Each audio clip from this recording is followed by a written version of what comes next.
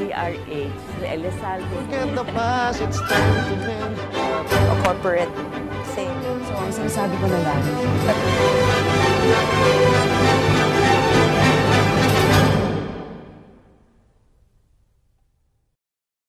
Isang mapayapang hapon Pilipinas. Ito po ang inyong balerina ng bayan, si Lisa Makuha, na bumabati sa lahat ng nakikinig sa DZRH at nanonood sa RHTV, lalo na sa mga kasamahan nating alagad ng sining at kultura sa buong bansa. Bago ang lahat, nais namin kayong anyayahan sa 20th season performance ng Ballet Manila na magsisimula na ngayong Agosto. Ang aming pambungad na handog ay ang tatlong kwento ni Lola Basyang na magsisimula na sa August 21. Ang tema ng aming 20th season ay From Page to Stage, mga kwentong nagsimula sa literatura na isinalin sa sayaw. Kaya abangan ninyo din ang mga susunod na palabas tulad ng Romeo and Juliet, Pinocchio, Hansel and Gretel at iba pang espesyal na pagtatanghal na inihanda namin para sa inyo. Para sa mga detalye, pwede ninyong sundan ang aming mga events at performance schedules sa aming Facebook, Twitter at Instagram accounts at sa aming website sa www.balletmanila.com.ph. Samantala, kasama natin sa hapong ito ang isa sa pinakatanyag at premyadong filmmakers ng kanyang henerasyon na kilala rin sa paggamit ng sining bilang instrumento sa pagpapalawak ng kamalayan tungkol sa mga isyong panlipunan, partikular na sa mga isyong pangkalikasan. Kaya huwag kayong aalis dahil hatid namin sa inyo ang kalahating oras ng masaya at makabuluhang usapan kasama ang premyadong filmmaker na si Director Brillante Mendoza. Isinilang sa San Fernando, Pampanga noong July 30, 1960, si Brillante Mendoza ay nagtapos ng Fine Arts mula sa University of Santo Tomas. Isa sa mga itinuturing na haligi ng Philippine Independent Cinema, siya ang unang Pilipinong sumali at nagwagi sa tatlong pinakamalaking international festivals sa industriya ng pelikula. Ang kanyang pelikulang Captive ay nanalo sa prestigyosong Berlin International Film Festival noong 2012. Samantalang ang Tirador ang nag-uwi ng 2007 Caligari Film Award mula sa festival ding iyon. Ang Thy Womb naman ang nagwagi ng La Novicella Venezia Cinema Award mula sa Venice Film Festival noong 2012. Subalit ang kanyang masasabing crowning achievement ay nang iuwi niya ang premyong Best Director mula sa tanyag na Cannes Film Festival para sa Kinatay noong 2009. Nagsimula si Mendoza bilang production designer para sa films and television advertisements. Noong 2005, itinatag niya ang Center Stage Productions, isang independent film production outfit na may layuning magpalaganap ng mga pelikulang may mga mensaheng panlipunan. Ang kanyang unang pelikula na Masahista ay kaagad nag-uwi ng Golden Leopard Award mula sa 2005 Locamo International Film Festival sa Switzerland at naging hudyat ng pag-angat ng alternative cinema sa Pilipinas. Kabilang din sa mga gantimpalang natanggap ni Brillante Mendoza ay ang Knight of the Order of Arts and Letters mula sa pamahalaang Pranses. Isang karangalang hindi pa naibigay sa kahit na sinong Filipino filmmaker. Isang mainit na pagbati ang hatid ng Art to Art sa multi-awarded filmmaker, director Brillante Mendoza. Kasama po natin sa hapong ito ang premyadong Filipino director na si Brillante Mendoza at ang kanyang katuwang sa paggawa ng mga makabuluhang proyekto, public relations and multimedia specialist Rene Durian. Direk Dante, Rene, welcome to Art to Art. Isang karangalan na uh, makasama namin kayong dalawa sa hapong ito. Uh, maaari po na- nating ikwento kung paano kayo nagkakilala at unang um, naging partners. Nagtinginan ng dalawa. we have a common friend. Uh, Okay. And then we Uh-huh. were introduced to each other. And then, of course, uh, Brillante Mendoza, at first I was overwhelmed because nung ginugal ko siya, hmm, Cannes, Best Director. and then, of course, um, and then um, we started meeting and then uh, getting to know each other. That the typical client and, you know, uh, publicist uh, type of uh, relationship. And then, and the rest is history. This was in 2010, I think. 10. Uh, That was five years ago. Five years ago. Okay. And um, I know that both of you are, are bound by a shared passion, using film basically as a tool for social awareness. Yes. Okay. Um, medyo malawak yung concept. Um, Can you give us specifics? Well, actually, uh, yung first film ko in 2005, that was 10 years ago. Yes. 10 10 years ago. Hindi naman talaga siya, ano eh, hindi naman talaga siya, sabihin natin, hindi siya ganun ka socially at that time, no? Hindi naman ako ka, ka-open, no? Sa mga ganung klaseng film. Except that, um, habang gumagawa ka sa ng pelikula, you realize na napaka-powerful ng medium, no? Uh, es- especially when I showed the film in Locarno, the second oldest film festival in the world. Ah, may mga nag-comment doon, especially mga jury na nasabi nila, ang pelikula mo, sabi niya tungkol sa, sa masahista, pero nakita namin ang Pilipinas, nakita namin ang kultura nyo, nakita namin ang mga mga mga mga Pilipino.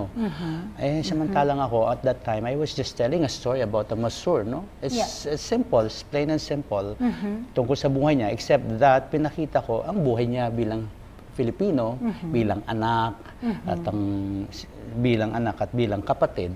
So, and I was very, kumbaga, very truthful ako dun sa portrayal niya, no? Wala akong nilagay na walang embellishment, no? parang walang ganon, walang pretension. So I realized it was a very powerful tool, no, medium, especially kapag pinapalabas mo siya sa ibang bansa. Kasi here, we tend to take it for granted. Kasi masyado na tayong exposed, alam na natin, ganyan.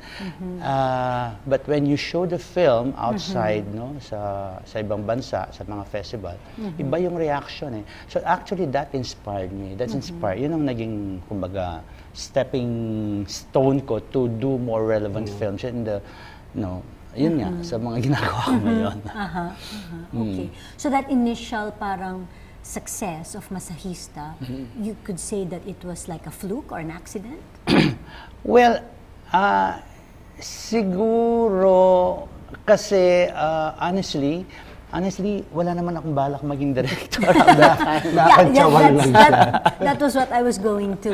Um, Ah. Ano yung, what, what were the plans na biglang na, naudlot ng, Yes, ng I was- success ng Masahista? I, I was in advertising at that time. I was doing good. I mean, with what I do, I'm a production designer. I've been in the business for you know, almost 12 years because I started quite late, no? 45 na ako nung nag, nag-direct ako. And at that time, okay na ako sa advertising, you know. Uh, In advertising, you earn good money, you have good life. So, kontento na ako. Parang yung paggawa ng pelikula is just like, uh, parang, okay, pwede, I mean, gusto ko maging filmmaker when I'm 20, but not when I'm 45. So I thought it was quite late na, no? Parang, ano na to, pang bagets lang ito. And then, yun na nga. ah, after that, yun nga na realization na pwede pa pala akong gumawa ng mga pelikula na ganito.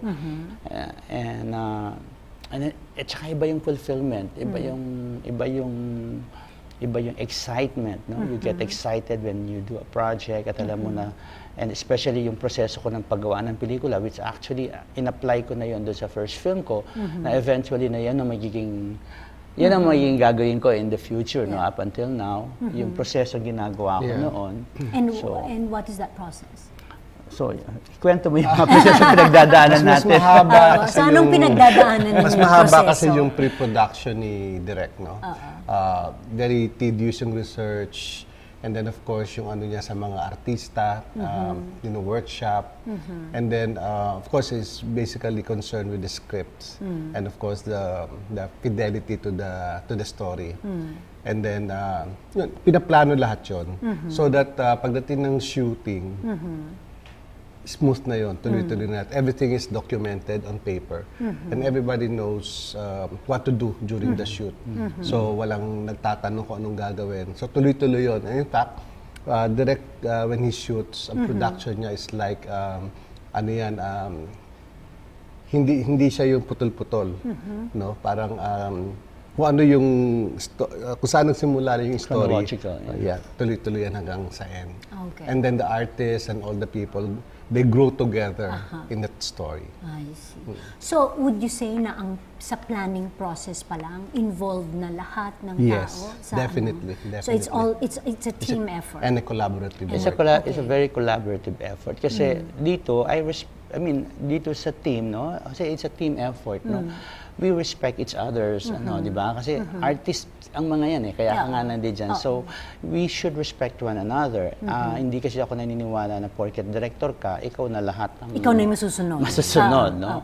So ako, I listen and uh, uh, kumbaga, uh, tumatanggap din ako ng mga suggestions at tumatanggap din ako ng mga pagkakamali because, you know, director ka lang eh, hindi ka naman talaga, hindi ka naman talaga, hindi ka Diyos. So, so I think that's uh, one thing that we have in our in our group is respect.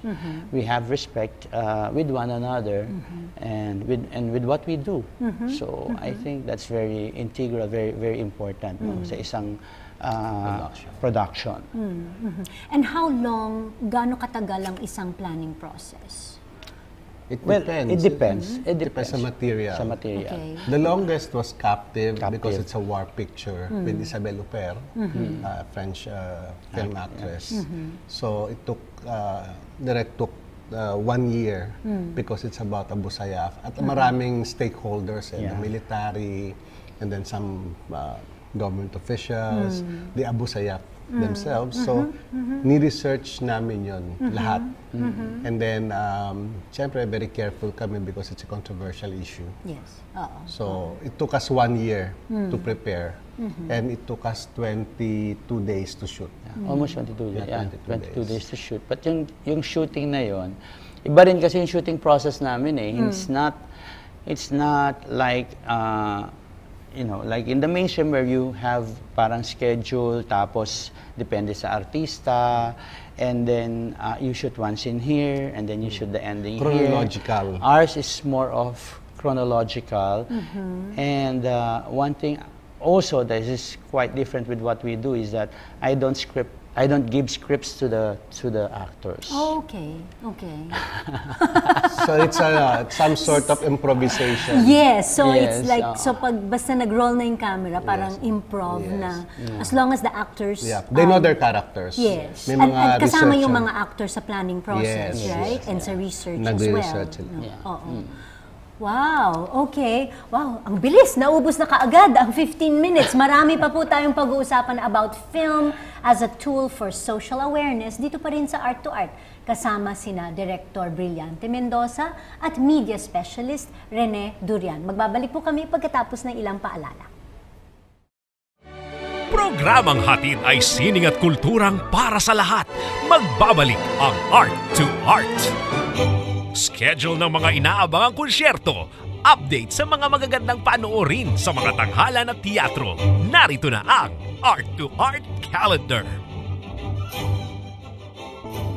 Narito ang ating arts calendar. Sa panitikan, inihanda ng Instituto Cervantes ang isang programa bilang pagdiriwang sa ika-apat na daang anibersaryo ng pagkakalimbag ng pangalawang volume ng nobelang Don Quixote de la Mancha. Kabilang dito ang film showing ng El Caballero Don Quixote sa August 8, Don Quixote de Orson Welles sa August 15 at Honor de Caballera sa August 22. Sa August 22, magkakaroon din ng lecture tungkol kay Don Quixote na ibibigay ng Filipino writer at professor na si Marjorie Evasco. Sa buong buwan, iniimbitahan naman ang mga bisita sa Library Miguel Hernandez ng Instituto Cervantes na sumulat ng ilang linya ng nobela para sa kauna-unahang handwritten na kopya ng Don Quixote sa Asia. Ang Instituto Cervantes ay matatagpuan sa number 855 TM Calo Street, Ermita, Manila. Para sa kompletong detalye, tumawag sa 526-1482 o mag-email sa cultmni at cervantes.es. Sa sining biswal, inihahandog ng Galleria Duemila ang Inima 3, ang solo show ng Baguio-based artist na si Leonardo Aguinaldo mula August 8 hanggang August 29. Ang Inima ay Ilocano para sa salitang hand-pressed. Tampok sa palabas ang mga obrang woodcut at lino cut na naglalarawan sa mga isyong panlipunan. Ang Galleria Duemila ay matatagpuan sa 210 Loring Street, Pasay City. Para sa karagdagang detalye, tumawag sa 831-9990 o mag-email sa gduemila at gmail.com. Sa musika, inihahandog ng National Commission on Culture and Arts at Independent Film Art Ventures Incorporated kasama ang Alliance Frances at Fairmont Hotel ang Spanish Guitar Night sa August 18 alas 7 ng gabi sa lobby ng Ayala Museum, Makati City. Tampok si Francisco Bernier ng Seville, Spain, isa sa mga pangunahing classical guitarists sa mundo. Kasalukuyang nagtuturo si Bernier sa Seville Higher Conservatory of Music at sa University of Seville. Artistic director din siya ng Seville International Guitar Competition and Festival. Para sa ticket, tumawag sa Ticket World 891-9999. Usapang sining at kultura para sa lahat. Kasama ang balerina ng bayan, si Lisa Makuha. Art to Art.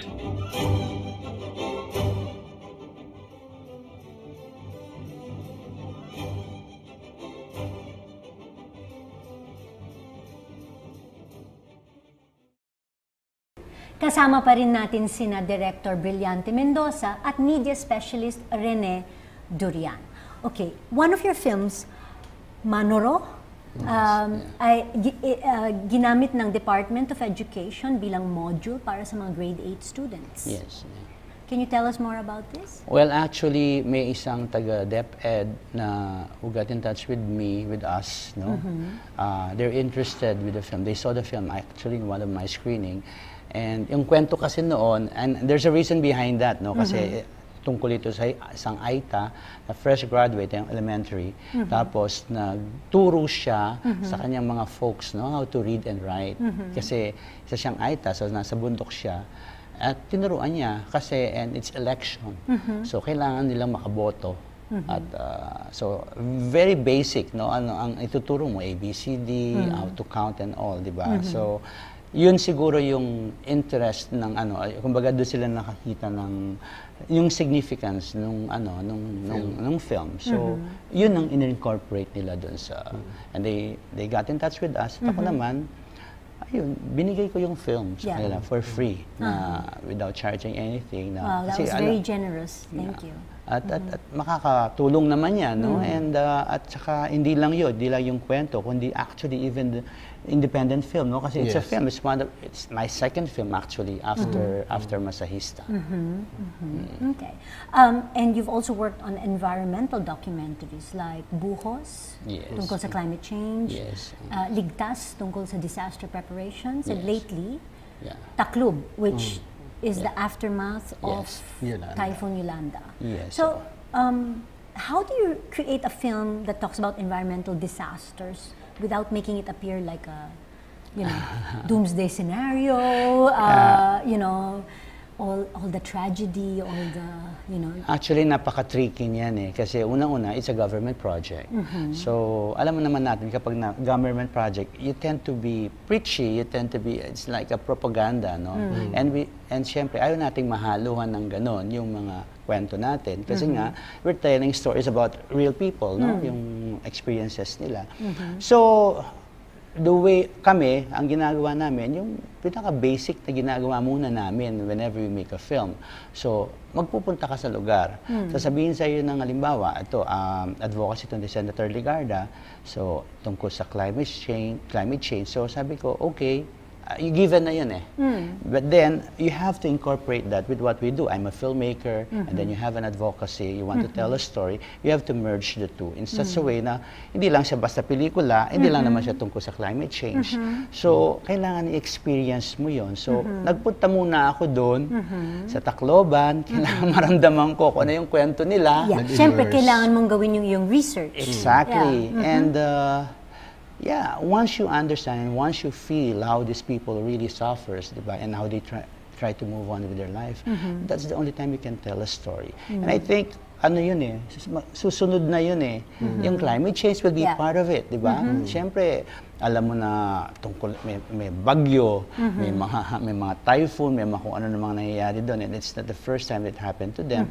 So, nagiging parte yun ng buhay nila. So, indirect yung ano nila sa sa climate change, Yeah. no? And the way you would explain it to Halimbawa, so ordinary people who are not aware about climate change, it's just, you know, when they watch the film and they and they understand the story, then they, i- they can easily relate. So, nakakaano yung advocacy, di ba? So, nagwo-work yung advocacy. And I think at the end of the day, yun ang pinaka-importante. Mag-work yung advocacy according to how the people understand it, di ba? How they take it. Hindi yung magtuturo ka ng para kang nasa classroom na ganyan. People doesn't like that. Ayaw ng tao ang tinuturuan. di ba? They want to understand it and feel it from the heart. And uh, as filmmaker, the best way for you to tell stories, you also have to feel it from the heart. Yeah. When you tell story, when you create stories, and when you research. Subliminal yung message kasi. Yeah. And people relate to that without uh, being preachy. Mm, oh, hindi literal. in Hindi other siya words, literal. No? Oo, Yes, oo, oo. That's true. Um, you said telling a story. Um, uh, how do you choose the stories to tell? Ah, ang dami kasing issue. ang dami kasing issue. Okay. Siguro pag wala na issue, wala na tayong kwento. Ah, kasi, ah, well, ang dami kasi inspiration eh. Ang inspiration kasi hindi naman kailangan maganda lang eh. Diba? May mga may mga kwentong na nababother ka, may mga kwentong hindi ka hindi mo hindi ka mapakali. May mga kwentong inspired ka. So uh, I think 'yun ang pinaka ano eh, pinaka basic, no? 'Yun ang pinaka basic. Kailangan meron muna issue. Kailangan as a filmmaker, not only as a filmmaker, I think secondary na lang 'yan eh. Kasi nagiging technical na. As a human being, Or as a storyteller. As a yes, as a storyteller. storyteller. Yeah. First and Oo. foremost, ah, kailangan maapektuhan ka muna sa isang issue, sa isang kwento. At bakit may kukwento? Okay. So it's a personal journey. It's a personal journey. It's usually about choosing the material. It's usually about ordinary people in extraordinary situations. Yeah. How they survive. So that's usually yung mga stories that uh, attract uh, direct. Kakaiba. Kakaiba siya, pero actually, seemingly simple, no? But actually, ah, akala natin simple siya, pero once you really dig down, deep, deeper into it, parang, hindi, nakikita ko ang sarili ko, except, except that, hindi ko lang siya pinapansin. Yeah. Because we don't give it, ano, hindi mo siya binibigyan ng, ng ano, importansya. But because you are telling their story, and once you see it on a big screen, nakita mo, ay, oo nga, kwento ko yan eh. So, And alam ko, it's uh, like have, asking you to choose among who, your children, who's your favorite child, no? Mm. Do, do you have a favorite, per, you know, movie Ang hirap. yours? Ang hirap, Hirap niya, ma'am. Pinakamahirap yan. Okay. Kasi, you know, every film that we make, especially ako, ano yan eh, it's part of me. It's, it's you know, it's, it's, it's really, it's part of my en- entire, ano. Mm-hmm, So, minsan may mahirap, minsan hindi mahirap, pero iba ang pinagdaanan mo. So, lahat eh, lahat yan eh.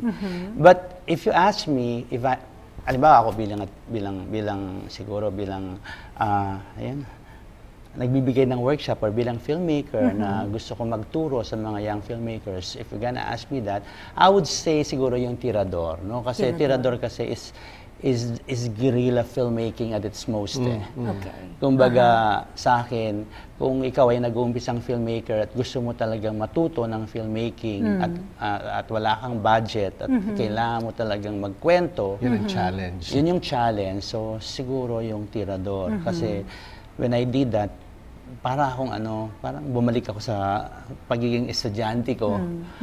So, yun. Mm. What about um, kung merong ah, film na gusto mong mapanood ng buong Pilipinas, halimbawa, or ng buong mundo, one of your films, kung mamimili ka, ano yun? Ano ba? Ah, mara, mara, marami. Mara, well, siguro, ano, iba iba kasi ang kwento iba iba kasi ang kwento bawat Okay. bawat mga film Oh, ang sige. hirap The stories eh. are unique. Aha, There- okay. Ah, so, sige, sabihin na natin, ano yung, for you, your biggest and best direct directorial um, stint, directorial job, okay, directorial product? Well, uh, siguro yung tirador. Tirador din. Okay. Tirador din, oo. Mm. Okay, na, nabanggit nyo kanina na merong Brillante Mendoza workshops, Mm. film workshops. Um, um, ano yung layunin ng mga workshops na ito? Uh, and how was the turnout? How has it been? Well, we had our first workshop last year, Yeah, no? yeah. And then second this year. Yeah, we have uh, most. We have the directing workshop, and then I have the acting workshop. So, the directing workshop is a one week long intensive workshop from morning till afternoon. And then pag uwi nila, may mga binabasa pa sila mga script. They get, they can, uh, parang they get to make short film using actu- the, the the acting workshop participant. So, yun. And then meron silang graduation, meron silang short film, meron silang produkto. And may mga competition din, magko-compete sila. The Okay. best film, the director, best actor, and best actress. Um, this uh, to, this year will be our third year. We had the first and the second, and uh, pinapalabas din namin ito sa sa MOS, sa Sinihan. No? So nag-invite kami ng mga guests. At ito, ev- starting this year, papadala din namin yung mga films no sa mga international film festival. Okay. So it's very very ano, very inspiring. I think this is uh, one way of uh, Direct's uh, paying back, Giving back. giving yeah. back, Mhm. and uh, Which is important. Oo. na after all the you know the awards and the recognition, Mm-hmm. it's about time to leave a legacy to the young Yeah. uh, uh, filmmakers that you know to give them a chance also Yeah. to to have an experience of how it is to be a filmmaker. Mm-hmm. Tsaka yung discipline importante kasi yun. I think that's one thing that he he wanted to teach the young filmmakers. Yes, of course, discipline. discipline. Pero tanong, anong yung lahat ba ng uh, estudyante ninyo ay rine-require din yun yung walang script? well, uh, actually, uh, And in chronological order? May script naman. As much, as, may script naman. As much as possible kasi the reason why I think no kaya sila nag-enroll sa akin is gusto nilang malaman yung Yes. proseso ko, gusto nilang malaman kung ano yung ginagawa ko. So I will tell them, you know, this is not the mainstream way of filmmaking. I mean, nandito kayo kasi gusto yung malaman yung alternative way of doing films. And there is really a way of doing films na ganito ang sit- situation, ang proseso, no? hindi talaga siya kailangan maging ganito. No? So kaya kayo nandito, I will always tell them, we are an alternative. Yeah. So kailangan alamin natin yun. Kailangan bukas ang kanilang pag-iisip. Yun. Oo, huwag kayong Okay. pupunta dito na parang mag-observe, parang dinadissect lang yung trabaho or something. Hindi ganon. So kapag nagpunta ka dito sa workshop, I will tell them, on the first day, on the first, uh, actually, pag nag-introduce sila, I would ask them, bakit ka nandito at bakit ka mo, mo gustong gumawa ng film. Sa sagot pa lang nila, alam ko na kagad kung anong klaseng Anong filmi- motibo. anong motibo nila at anong klaseng filmmakers sila na gustong maging. No? So, that is, Okay. for me, that's crucial. Aha. And uh, uh, bago tayo tuluyang magpaalam, uh, ano-ano yung mga projects na aabangan natin sa taong ito? Ano nakaline- up. marami. Yes, ano Marami. naka-line up? Actually, First, of course, yung workshop. Yes. It's gonna be Okay. there. Uh-huh. And then the Sinag uh, Film Festival. Yes. Uh, the- this is uh, sponsored by, ah, by, by, by by Solar, Films. and uh, in collaboration with SM. Mm-hmm. Um, i- si Direk yung nag-curate ng mga films eh. Siya yung Mm-hmm. nag, nagpumipili kung ano yung mga... And then he's also giving chance to other filmmakers to get involved in this festival Mm-hmm. so that ma-showcase yung ano. And, and Direk is very particular with the story. Mm-hmm. Kung ano talaga yung interesting, kung ano talaga yung mga stories that are uh, potentially winner Okay. in terms of not only locally but internationally. Okay. So we also have, uh, this year I'm also doing 12 documentaries about protected areas 12 documentaries. Yes, about the protected areas in the Okay. Philippines. In the Philippines, we have about 240 protected areas, and we're doing 12, uh, sponsored by the Department of Environment and Natural Resources. So that's one. And I'll be, well, if I can share with the audience, if I can share with you, um, I will be given uh, um, the Lifetime Achievement Award in, in Georgia in, at the Batumi International Film Festival. Wow, congratulations. Yes, I'll also be given another retrospective at Sarajevo International Film Festival in Croatia also this year. And then I am the director in Focus, uh, the Tokyo International Film Festival in October this year. And then another retrospective in France also before the end of the year. So these are four uh, retrospective and tribute given to me before the end of the year. So uh, just to share with the, with the audience that uh, this is also this is my honor and I'd like to share it with all of them. Oh, masayang masaya naman kami na nakadalo kayo dito sa Art to Art and it is truly an honor to have you It's both our as our privilege. uh, uh, guests this afternoon. Maraming maraming salamat. Thank you. Thank you very much. Hanggang sa susunod na linggo, samahan ninyo kami ulit dito sa Art to Art kung saan ang usapang sining at kultura ay para sa lahat. Ito po ang inyong balerina ng bayan, Lisa Makuha, nagpupugay sa artistang Pilipino.